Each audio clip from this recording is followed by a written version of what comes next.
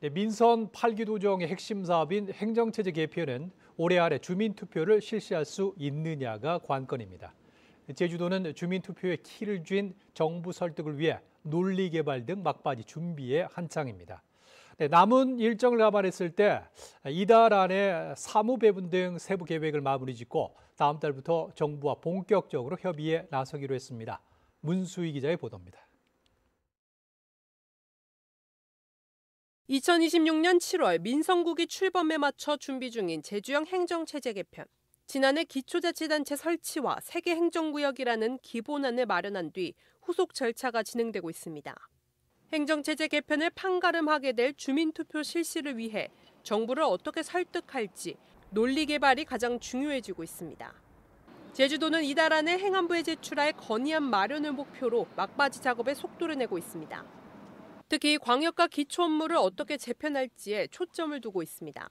전결과 위임, 민간 위탁 등 모두 2만 5천 건에 달하는 사무를 대상으로 부서 의견 접수를 마감했고 현재 제출된 의견에 대한 법령 검토와 보완 작업이 이루어지고 있습니다. 큰 틀에서 제주형 기초 사무에 방점을 두고 법적으론 기초 사무에 속하지만 대중교통과 상하수도, 폐기물 등 현행처럼 광역에서 맡을 사무를 분류하고 있습니다. 달라진 사무 배분에 따라 재정 조정안도 큰 과제가 되고 있습니다. 세계 자치시의 재정 여건과 세액 구조가 어, 지금 이제 균형적으로 도입되도록 만들어야 되는데 이걸 위해서는 광역 단체가 지방 재정 교부금을 내려서 균형 발전을 맞출 수 있어야 되는데 제주의 사무 배분의 모형과 방식에 맞춰서 어, 적절하게 좀 개발돼야 될 필요가 있습니다.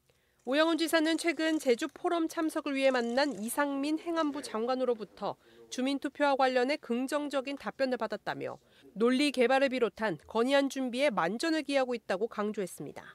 어, 잘 준비해 주시면 잘 판단하겠다라는 잘 판단해서 어, 어, 하겠다라는 그런 말씀을 해주셨기 때문에 저는 매우 긍정적 분위기로 받아들였다는 점 말씀드립니다.